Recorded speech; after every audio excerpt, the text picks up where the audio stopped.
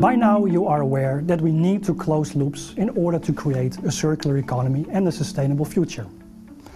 But closed loops only work if there is a proper business model that guarantees its profitability in the long run. In a closed loop we can identify three main business processes that connect with one another. The first one is acquisitioning of used products and materials. You need to collect the right volumes of the right quality and for a reasonable price. For instance, material recycling only works with large volumes because recycling facilities are expensive and they need to run continuously. Refurbishing is feasible with smaller volumes, but here it's crucial that the returned products are of sufficient quality. So testing and sorting are very crucial. The second key business process is reprocessing. Used products and materials need to be reworked into products and materials of sufficient quality for a reasonable price.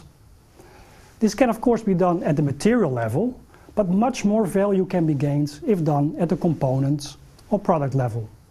For example, it's more profitable to refill ink cartridges than to recycle its materials.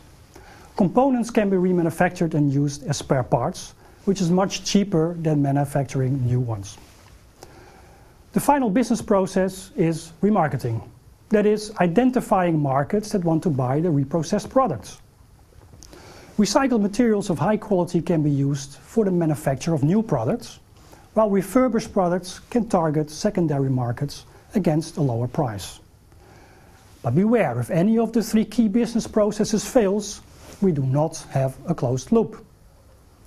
So apart from the technological challenges that are addressed elsewhere in this course, a company needs to offer proper incentives and infrastructure to users to return their used products.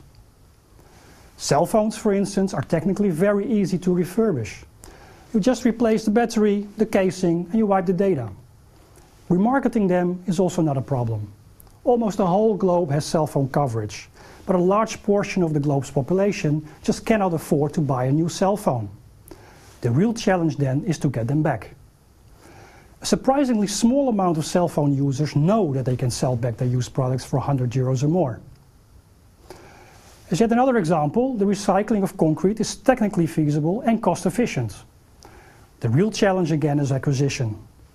Concrete recyclers do not have direct access to used concrete and it's therefore hard to get the right volume and the right quality. Remarketing is also a challenge since legislation limits the use of recycled content in concrete while a higher content is nowadays safe and technically feasible.